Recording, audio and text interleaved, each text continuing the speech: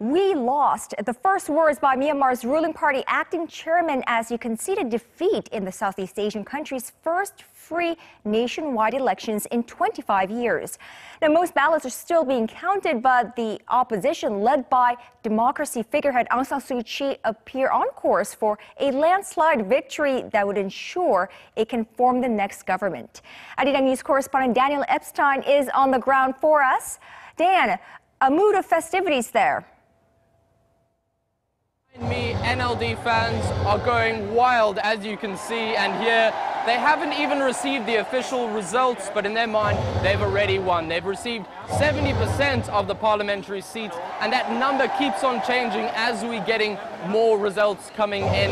The official results by the UEC, they say, will only come in tomorrow, but in the minds of the Aung San Suu Kyi NLD party supporters, it's already a victory. Now, countries around the world have sent in letters of praise saying, congratulations, Myanmar, you've, you've held great, open, free democratic elections and you're on a new path. And as evidenced by the people behind me, they are ecstatic about the change which they feel is happening and this is a key moment for that change. Back to you.